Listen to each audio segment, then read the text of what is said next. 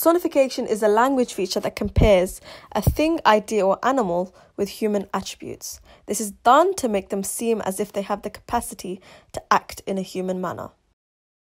So, personification can have a very big impact on reader because it can both grab the attention as well as give them emotional support to the concept that the writer is trying to portray.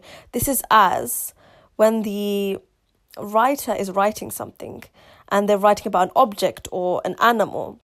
By giving the object or animal human features, the reader, as a human, is better able to understand or connect with what the writer is trying to say or the description because, as humans, they can understand things better from a human perspective. So, an example of this will be something like the building towered over everyone, almost kissing the sky. This is an example of personification, as a building cannot literally kiss the sky. That is a personification of a building here because kissing is a human action. So, therefore, here a human action is being used to describe the building. Now, let's move on to alliteration. So, alliteration is when consecutive words or words that are close together start with the same letter. This is used to help grab the reader's attention, for it makes points clearer and makes more memorable. So, for example, both words in the sentence start with the same letters. For example, Adam ate. This makes these two words stand out in the entire sentence as they both start with the same letter.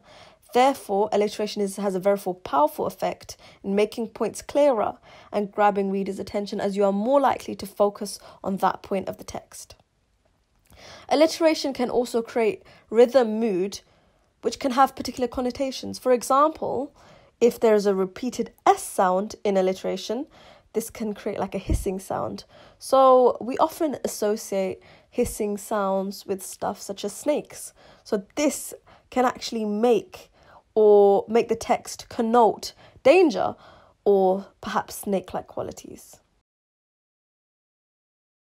Onomatopoeia also is concerned with how words sound. Onomatopoeia is when words either directly or very closely sound like the noises that they are describing. So, examples would be bang, crash, whoosh.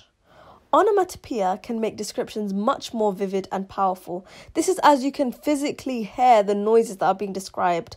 So the reader can use their sense of hearing to actually help them greater understand what the writer is trying to portray. So this can aid the reader to really imagine and really understand what is going on in the text.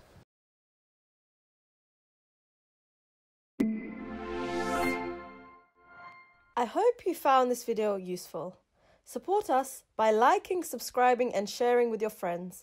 If you have any questions, post it on our forum at examqa.com.